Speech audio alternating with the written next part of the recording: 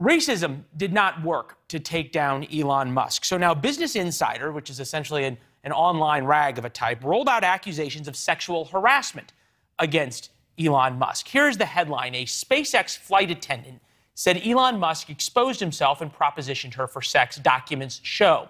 The company paid $250,000 for her silence. Uh, there is a lot of questions and issues with just the basic reporting, even in that sentence. Business Insider published it most likely because the National Enquirer found it too thinly sourced for their liking.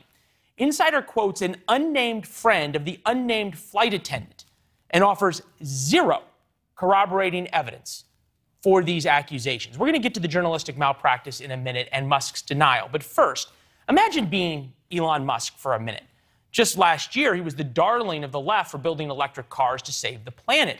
They even tolerated him moving from California to Texas and moving Tesla as well to save billions on taxes. But buying Twitter and threatening their control on what is and what is not free speech was a bridge too far for the media, especially the big newspapers. And the elite are fighting back with everything possible. The woke investment funds, known as ESG, abandon Musk.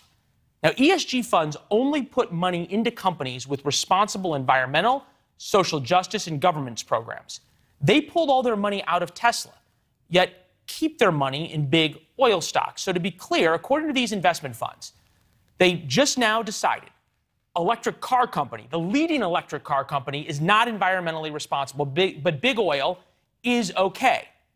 Again, think about Elon. Up until now, the media loved him. 1983, he created his first video game and sold it for $500. One person reviewed it and called it a retro game that will instantly hook you.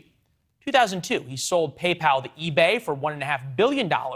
At the time, one paper wrote about how PayPal was running it up against the competition. Years later, he became CEO of Tesla and changed the company's trajectory by taking it public. It was really a wild idea back then. Writers celebrated the move in an article that read how Elon Musk turned Tesla into the car company of the future. He's a visionary. Until last month, when he announced plans to buy Twitter and turn it into more of a free speech platform. The New York Times questioned his upbringing, and a Washington Post piece said Twitter is good. I hope Elon Musk doesn't ruin it. Now comes the Business Insider piece about an incident that allegedly happened in 2016, and as we said, offers zero hard evidence. Think about two New York Times profile pieces about Musk. These say everything you need to know. The first was before he wanted to buy Twitter. Echoes of Steve Jobs in Elon Musk. Just a couple of days ago, Elon Musk left a South Africa that was rife with misinformation and white privilege. Same Elon Musk who they called Steve Jobs. Same guy, same newspaper. Make a bunch of money building electric cars. You are a hero. Talk about free speech. Try to buy Twitter. You are a racist and a sexual uh, harasser or abuser. Chris Hahn, the aggressive progressive, uh, is with us uh, boy, you feel like he's really getting a raw deal here.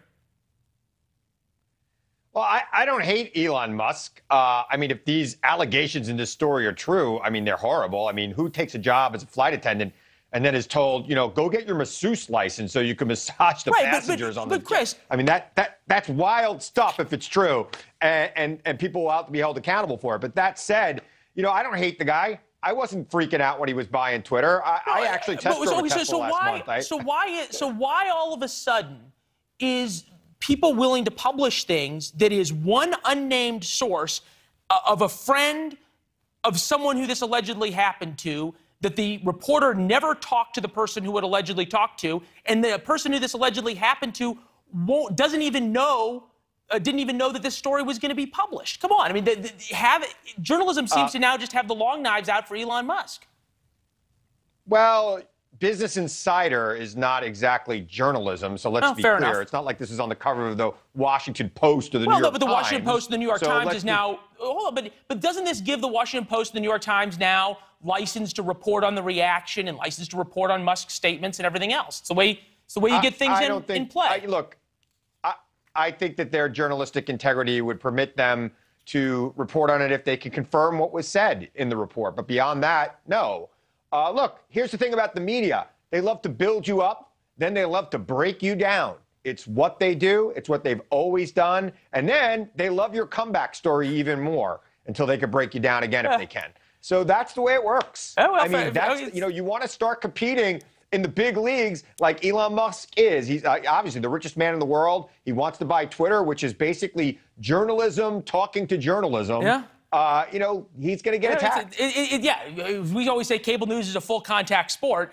I, I'm almost, I'm almost thinking it's a little bit like the, the guy in town who's the rich guy in town. He's done well, but nobody knows who he is and nobody cares. And then he buys the pro sports team, so he's going to be on the front page of the newspaper every day. And suddenly the sports columnists all rag on him. Fair comparison, a little bit.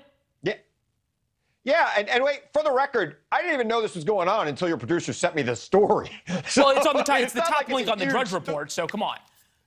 You Well, were playing yeah, golf I mean, all you know, if I read the Drudge report every day, it wouldn't be me. So it's just, you know, it's just, it's just, it's just one of those things that happens sometimes. These things kind of go under the radar, and here it is. People are talking about it, and it comes a bigger and bigger thing, and then people have to answer to it, and that makes the answer the story, as you just said. Thanks for watching. Click the red subscribe button below so you can get more of News Nation's fact driven, unbiased coverage.